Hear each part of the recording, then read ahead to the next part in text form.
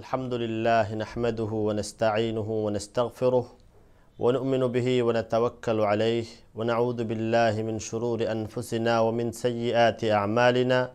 من يهده الله فلا مضل له ومن يضلل فلا هادي له ونشهد أن لا إله إلا الله وحده لا شريك له ونشهد أن سيدنا ونبينا وشفيعنا مولانا محمدا عبده ورسوله.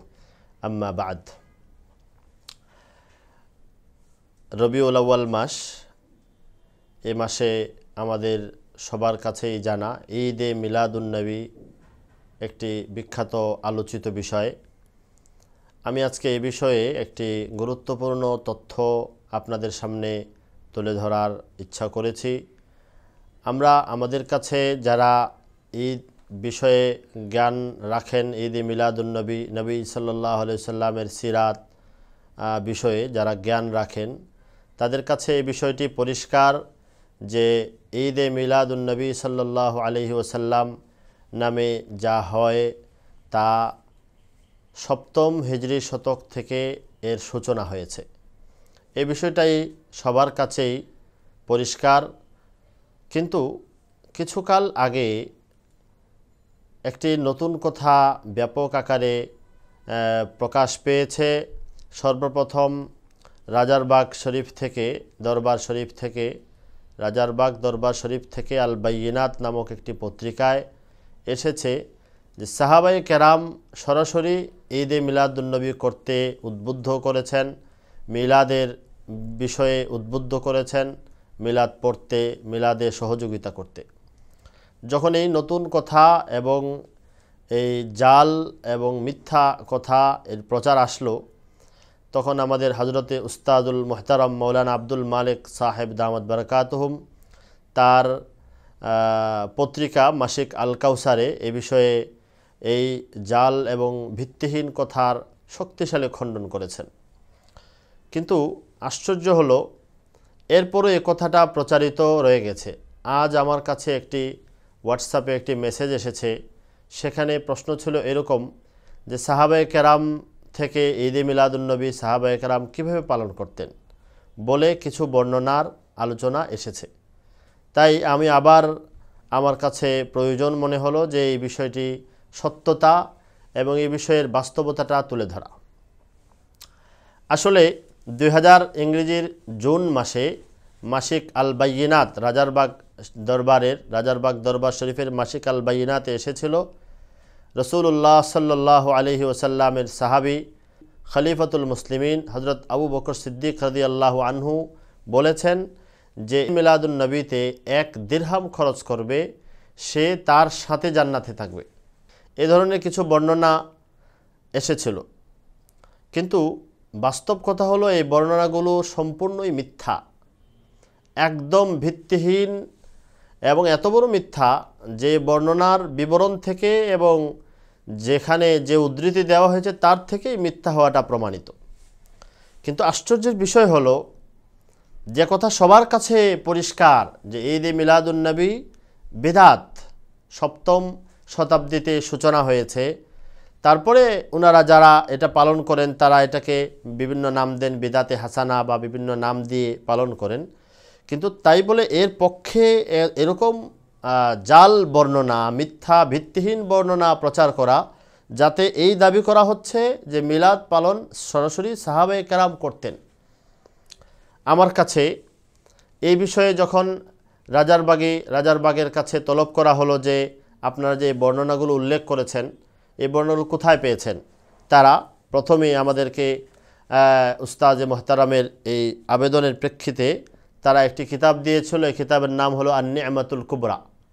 আন্নি আমাতুল কুবরা আলাল আলম শিহাবুদ্দিন আহমদ ইবনে ইবনে হাজার আল হাইতামির লেখা একটি কিতাব। তো এই কিতাব সামনে রেখে আমি আপনাদের সামনে এই কথাটা পরিষ্কার দেখাবো যে সাহাবাই কারাম মিলাদ করতে উদ্বুদ্ধ করেছেন, মিলাদ পড়তে উদ্বুদ্ধ করেছেন। এ কথাটা একটি মহা অপবাদ তাদের নামে, একটা মহা অন্যায় কথা। এবং সুস্পষ্ট, মিথ্যা ও ভিত্তিহীন কথা। প্রথম বিষয় হলো, আগে বর্ণনাগুলো আমি আপনাদেরকে শুনিয়ে দেই, যে এই কিতাবে আর নিয়ামাতুল কুবরা আলাল আলম কিতাবে যা রাজার বাগের আলবাইনাতে লেখা হয়েছে, কি বর্ণনা এসেছে? প্রথমে এসেছে হজরত আবু বক্কর সিদ্দিক রাজন বলেছেন, কালা আবু বকর, মান আনফাকা দিরহামান আলা কিরাআতি মাউলিদিন নবী সাল্লাহ সাল্লাম যে নবীজির জন্ম পাঠে, জন্ম মাউলিদ শব্দের অর্থ হলো সময়, জন্মের সময় বা কাল। কেরাত মানে পাঠ। কেরাত ও মৌলিদ নবীজির জন্মের সময় বা জন্মের স্থান পাঠে যে এক দীর্হাম খরচ করবে, সে কান রাফিক কেফিল জান্নাহ। সে আমার সাথে জান্নাতে থাকবে। দুই নম্বর লিখেছেন, ওকালা অমর আব্দুল খত্তাব অমর রদি আল্লাহ আনহু, মান আব্দামা মৌলিদান নবী সাল্লাহ আলী ওসাল্লাম ফকাত আহিয়াল ইসলাম। যে মৌলিদুন নবীকে তাদের ভাষায় মিলাদুন নবীর সম্মান করবে সে যেন ইসলামকে জীবিত করল, পুনর্জীবন দান করল। আর ওসমান তিন নম্বর খলিফা ওসমান থেকে আনা হয়েছে, মান আনফাকা দিরহামান আলা কেরাআতি মৌলিদিন নবী সাল্লাহ আসলাম ফাঁকা আন্নামা শাহিদা গজওয়াতা বাদার ওয়া হুনাইন। যে নবীজির মৌলিদ পট পাঠের ক্ষেত্রে এক দিরহাম খরচ করল, সে যেন গজওয়ায় বদর বদর যুদ্ধে ও হুনাইন যুদ্ধে অংশগ্রহণ করল। তিন নম্বরে আছে হজরত আলী রদিয়াল্লাহ থেকে মান আদ্দামা মৌলিদান নবী সাল্লাহ সাল্লাম ওয়াকানা সাবাবান লেখরা আতিহি যে মৌলিদুন নবী বা মিলাদুন নবী সম্মান করল এবং এর পাঠের কারণ হলো সে দুনিয়াতে যাওয়ার, দুনিয়া থেকে যাওয়ার সময় ইমান নিয়ে যাবে এবং বেলা হিসাব জান্নাতে প্রবেশ করবে। এই যে বর্ণনাগুলো এখানে উল্লেখ করা হয়েছে, প্রথম কথা হলো, এর কোনো সনদ, সূত্র, কোনো উদ্ধৃতি, কোনো মাসদার কোথায় এইগুলো বর্ণনাগুলো আছে? কোনো হাদিস, সিরাত, তারিখের কোনো কিতাবের উদ্ধৃতি এই কিতাবে নাই। আল বাইনাত বা রাজারবাগি তাদের কোনো কিতাবে কোনো উদ্ধৃতি দেওয়া হয় নাই। আসলে কোনো কিতাবে আমাদের অনুসন্ধান মতে না তাদের কারও কোনো উদ্ধৃতিতে এর কোনো অস্তিত্ব পাওয়া যায় না, পাওয়া যাওয়ার কথাও না। দুই নম্বর হলো, মহা ঘটনা যেটা সেটা হলো, ইবনে হাজার হাইতামি নয়শো চুয়াত্তর হিজড়িতে ওনার অফাত হয়েছে। বিখ্যাত একজন সাফেই মুহাদ্দিস ছিলেন। ওনার একটা কিতাব ছিল আন্নি আমাতুল কোবরা নামে। কিন্তু একদল মিথ্যাবাদ, মিথ্যাবাদী ধোকাবাস তার নামে এই কিতাবটি কিতাবটি জাল করে দিয়েছে। তিনি এই নামের কোনো, এই নামের একটি কিতাব লিখেছেন বটে, কিন্তু এই কিতাবের লেখক তিনি নন। আমার উস্তাদ মোহতারাম হজরত মৌলানা আব্দুল মালিক সাহেব দামাদ বারকাত হুম এটা দেখে হতবাক হয়ে গেলেন। অনুসন্ধান লাগালেন ইবনে হাজার হাইতামির কিতাবে, তা থাকতে পারে না। এমন মিথ্যা, এমন বানোয়াট কথা। অনুসন্ধান করে পাওয়া গেল মিশরে দারুল কুতুবিল মিসরিয়াতে মূল আন্নি আমাতুল কুবরা ইবনে হাজার হাইতামির লেখা আন্নি আমাতুল কুবরাটি ওখানে মজুদ আছে। ওখান থেকে কপি এর একটি ফটোকপি সংগ্রহ করা হয়েছে দারুল কুতুবিল মিসরিয়া মিশর থেকে আন্নি আমাতুল কুবরা। সংগ্রহ করার পরে একটি কিতাব কার গ্রন্থ কি? যাচাইয়ের যত মাধ্যম হয়, সব মাধ্যমে এবং এই কিতাবের দ্বিতীয়াংশে আরেকটি কিতাব আছে। এই কিতাব থেকেও বিভিন্ন মাধ্যমে তথ্যে মিলিয়ে এটা নিশ্চিত হওয়া গেল যে এই এই পাণ্ডুলিপিটা, হস্তলিখিত পাণ্ডুলিপি মিশর থেকে যা সংগ্রহ করা হয়েছে, এটাই হলো ইবনে হাজার হাইতামির লেখা আসল আর নিয়ামতুল কুবরা গ্রন্থ। আর এটা হলো জাল। এটা হলো মিথ্যা, তার নামে চালিয়ে দেওয়া গ্রন্থ। তো যখন এটা বের করে আনা হলো দেখা গেল তার ইবনে হাজারের লেখা আন্নি আমাতুল কোবরা গ্রন্থে এই বর্ণনাগুলোর কোনো চিহ্ন লেশ মাত্র নেই। তো এটা কত বড় ধোকা? দেখা গেল যে আন্নি আমাতুল কোবরা এখানে কত সুন্দর করে ইবনে হাজার হাইতামির ওনার নাম দেওয়া এই কিতাব ওনার এবং এই কিতাবটি ছেপেছে তুরস্কের হাকিকত কিতাব মাকতাবা, হাকিকা, হাকিকিয়া নামে। তো এই কিতাব কুতুবখানা থেকে ছেপে এটা প্রকাশ পেয়েছে। আমরা এই ব্যাপারে নিশ্চিত হয়ে গেছি যে এই কিতাবটা ইবনে হাজার হাইতামির নামে জাল, কোনো একজন জাহেল, মূর্খ, অজ্ঞ, যে সাহাবিদের নামে এই জাল মিথ্যা বর্ণনাগুলো বানিয়েছে মিলাদের পক্ষে। মিলাদ জায়েজ, না জায়েজ, বেদাত সহি কীভাবে করবে, ঈদে মিলাদুল কবে সেই নিয়ে দলিল বিশ্লেষণ করা যেতে পারে, করো। কিন্তু তাই বলে মিথ্যা বর্ণনা সাহাবিদের নামে লাগাবে এবং এর জন্য জান্নাতে যাওয়ার- সার্টিফিকেট আবু বকর সিদ্দিকের সাথে জান্নাতে থাকবে। তারপরে ওসমান রাজিয়াল আলী রাদিয়াল্লাহু বলেছেন, ইমানের সাথে মৌত হবে, বেলা হিসাব জান্নাতে চলে যাবে। এই ধরনের জান্নাতের সার্টিফিকেট দেওয়ার মতো পরোক্ষভাবে যেগুলো নবীজির হাদিস বলা যায়, নবীজির থেকে না জেনে তো এমন কথা ওনারা বলার কথা না। এরকম হাদিস হিসেবে বলে দেবে, এরকম মিথ্যা জাল বর্ণনা করার দুঃসাহস এরা পেল কীভাবে? দ্বিতীয় কথা হলো, এটার পাওয়ার পরে এই কিতাবটা মানুষের কাছে মিথ্যাটাকে বাজারে চালিয়ে দেওয়ার জন্য ইবনে হাজার হাইতামির মতো একজন বিখ্যাত ব্যক্তির নামে এটা চালিয়ে দিয়েছে। একটা প্রকাশকের, একটা প্রকাশনা বিভাগের, একটা লাইব্রেরির এত বড় সাহস এবং এরকম মিথ্যা চালিয়ে যাচ্ছে। আর এই মিথ্যাগুলো আমাদের ওই পক্ষীয় ভাইরা ব্যাপকভাবে প্রচার করছেন তাদের এতটুকু যাচাই করার সুযোগও নাই। নিজেরা বলছেন, নিজেদের সমস্ত সিরাতের কিতাবে আছে। সপ্তম হিজরি শতকের আগে মিলাদ পালনের এরকম অনুষ্ঠানীয় কোনো কিছু নাই, পাওয়া যায় না। এবং এর যে আরবিগত ভুল এবং যে বিবরণ থেকেও বোঝা যায়, এটা সাহাবিদের কথা বক্তব্য হতে পারে না, হয় না। এতটুকু যাচাই করার সুযোগ নেই, এখনও এটা প্রচার করে যাচ্ছে। উস্তাজে মোহতারাম মালানা আব্দুল মালিক সাহেব তুরস্কে অবস্থানরত আল্লামা জাহেদ কৌসারি রহমতুল্লাহ আলহির শিষ্য। আল্লামা শেখ আমিন সিরাজের কাছে পত্র লিখলেন এই প্রকাশক সম্পর্কে। তিনি জানালেন যে এই প্রকাশক আসলে এরকমই। তারা তুরস্কে একটা দল যারা সব থেকে বিচ্ছিন্ন এলমের ময়দানে যাদের কোনো ওজন নেই। এরা এ ধরনের এ ধরনের কিছু বিষয় যেগুলো বিশেষ গুরুত্বপূর্ণ কোনো বিষয় না, অপ্রাসঙ্গিক খুব বিষয় না, এমন বিষয়গুলো মাঝে মাঝেই তুলে এনে উস্কিয়ে দিয়ে মানুষের মধ্যে একটা পেরেশানি সৃষ্টি করে। এবং এরা নিজেদের মসজিদ ছাড়া, নিজেদের স্থান ছাড়া কারও কাছে নামাজ পড়ে না, কারও পেছনে নামাজ পড়ে না। এরা এই ধরনের জাল কিতাব রচনায় অভ্যস্ত। আমরাও দেখেছি তুরস্কের এই তুরস্ক থেকে ছাপা এই বইগুলো ফ্রি বিতরণ করা হয় এবং যে কোনো দেশ থেকে, বাংলাদেশ থেকে আবেদন গেলে সেখানেও এই বইগুলো পাঠিয়ে পাঠানো হয়। খুব নিম্নমানের কাগজ এবং নিম্নমানের ছাপা এই জাল এবং ভুয়া কিতাবগুলো ওখান থেকে প্রকাশিত হয়। তো আমি বলছিলাম যে সাহাবি আবু বকর, উমর, উসমান, আলী এবং হাসান বসরি সহ বিভিন্ন জনের নামে মিলাদের প্রশংসায়, মিলাদের পক্ষে এই বর্ণনাগুলো জাল, ভুয়া, মিথ্যা। এর এক নম্বর তো হলো এগুলোর কোনো উদ্ধৃতি, সনদ, সূত্র কিছুই পাওয়া যায় না, যাচাই করার কোনো মাধ্যমই নাই।